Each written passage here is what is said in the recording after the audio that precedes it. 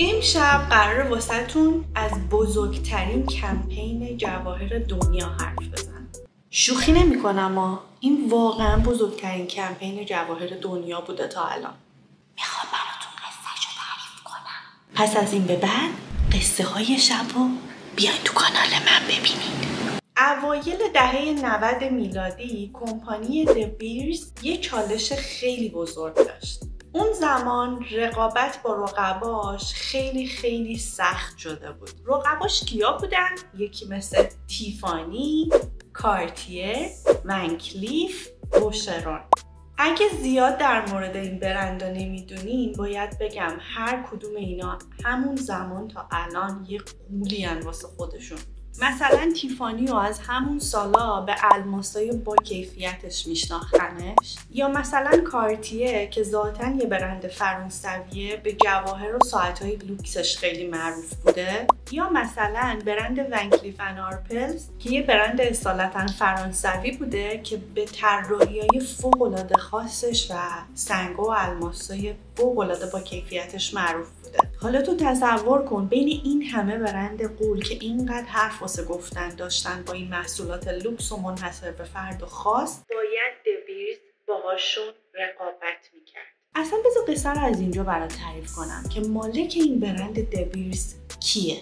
اسمش آقای سسیل رودسه که سال 1853 تو انگلیس به دنیا اومد. پدرش فرانسیس ویلیام رودس بود که یک کشیش بود و مادرش هم لویزا پیکاک خاندار سسیل مالک برند دویرز اون زمان هشتمین بچه از ده تا بچه بود. رودس تحصیلات خودش رو تا مقطع ابتدایی توی مدرسه محلی توی انگلستان تموم کرد و از اونجایی که میگن ضعف جسمانی شدید و بیماری داشته از اونجا فرستادنش آفریقای جنوبی. پیش برادرش. چون دکترها گفته بودن آب و هوای اونجا گرمتره و برای بیماریش خیلی بهتر برادر رودس از چند سال قبل اونجا توی معدن الماس داشته کار می‌کرده. در واقع کارگر معدن الماس بوده. اسم دقیقش رو بخوای بدونی؟ معدن الماس کیمبرلی. اون زمان این یکی از مهمترین و بزرگترین معادن الماس دورش بوده. و رودس هم اونجا مثل یه کارگر ساده شروع می‌کنه به کار. اونجا به سرعت داشت به بزرگترین مرکز صنعت الماس تو جهان تبدیل می‌شد. شاید باورش سخت باشه ولی به فاصله 9 سال از شروع کارگریش توی معدن الماس شرکت خودش رو ثبت کرد. یعنی اینقدر تونست پیشرفت کنه. یعنی کارش به جای رسید که داشت معادن دیگه الماس رو خرید و فروش می‌کرد. و از یه جایی به بعد فقط معادن کوچولو کوچولوی الماس رو می‌خرید. البته وقتی که من دارم در مورد معدن کوچیک حرف می‌زنم بهتره که اندازه هاشم بهتون نشون بدم.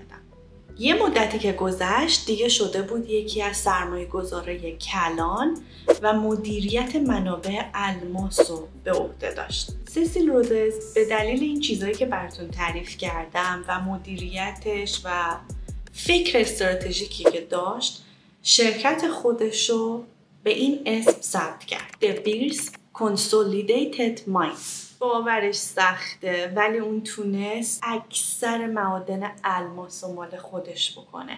تقریبا به اسم سلطان الماس معروف شد. خیلی سریع تونست سلطگر بازار الماس جهانی بشه و خیلی هم تاثیر زیادی روی صنعت الماس جهان گذاشت. شرکتش خیلی سریع به یکی از بزرگترین شرکت های استخراج الماس جهان تبدیل شد. اونقدری که تسلط کامل روی قیمت الماس جهانی پیدا کرد رودس معتقد بود کنترل قیمت الماس تو جهان می‌تونه بر اقتصاد جهانی تاثیر بذاره. همه اینا رو بهت گفتم که برسم به بزرگترین کمپین جواهر. یادته که گفتم رقباش کیا بودن و حالا اون صاحب همه این معادن کوچولو کوچولو کوچولو شده چقدر بزرگ شده بود. الان دیگه وقتش بود که یه کاری می‌کرد با اون الماسایی که داشت. این الماسه شامل چیا بودن؟ یه عالمه الماسای کوچولو کوچولو کوچولو داشت که رنگای خوبی هم نداشتن و باید اینا رو میفروختن.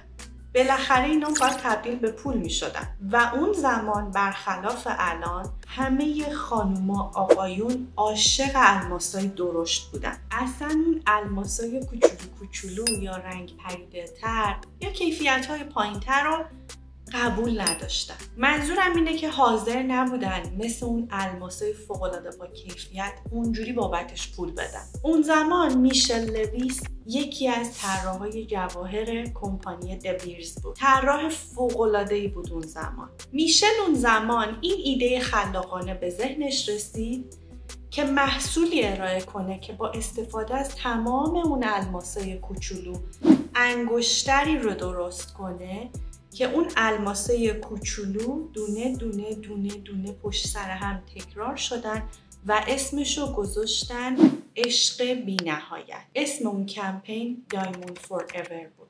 الماسای یه دهم دو دهم قیراتی حدودن با رنگ G یا H. اینجوری بود این طرح که شما هر چقدر این حلقه رو میچرخوندین فقط الماس می‌دیدین و هیچ شروع و پایانی وجود نداشت کلی روش تبلیغات کردن و این ایده گرفت Then, how much I loved you.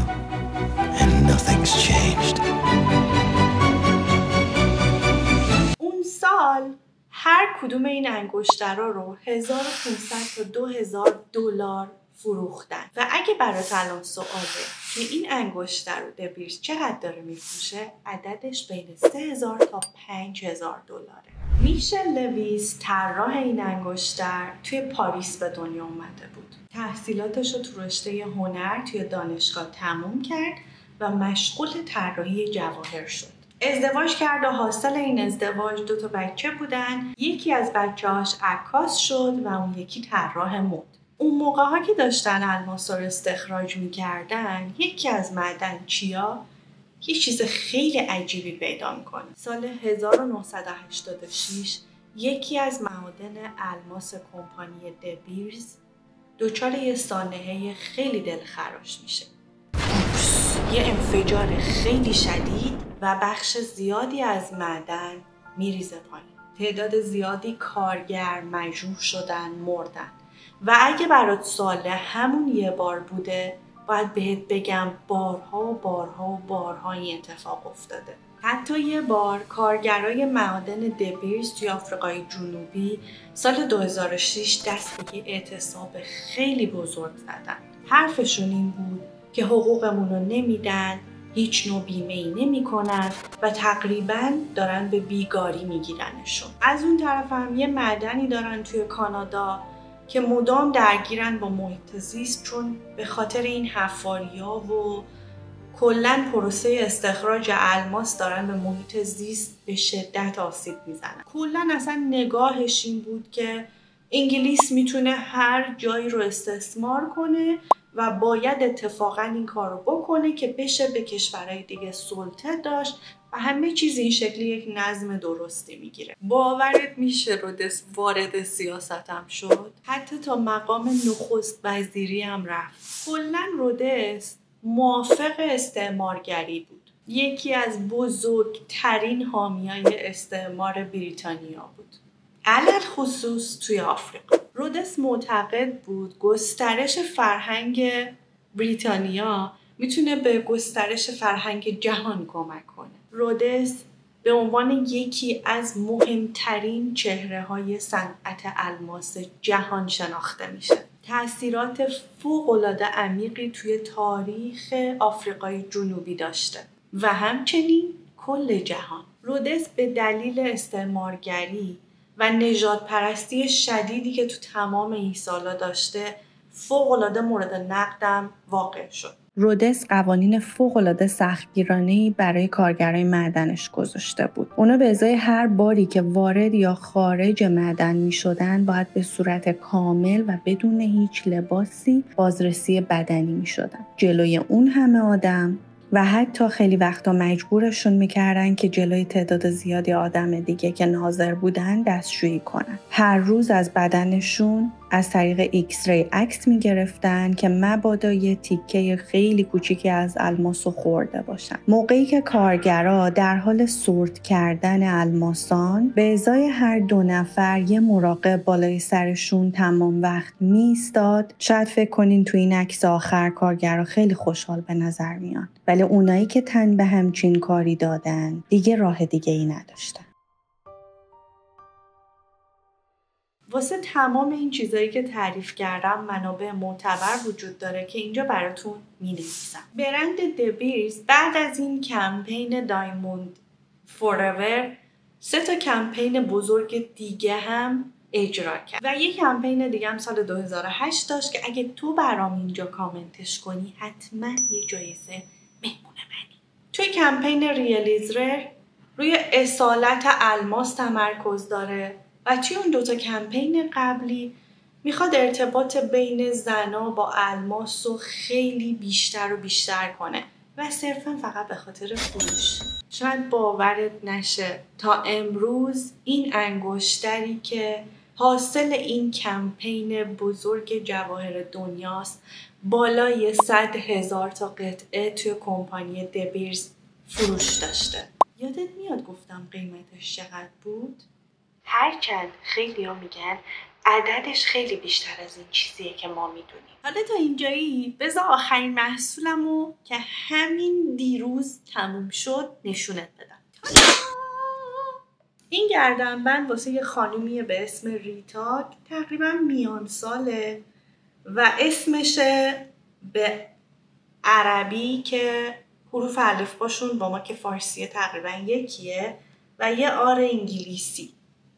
این سنگ سنگ خیلی خاصیه. اینم یه اتود دیگه از اون اول که می‌خواستم حروف عربیشو در بیارم.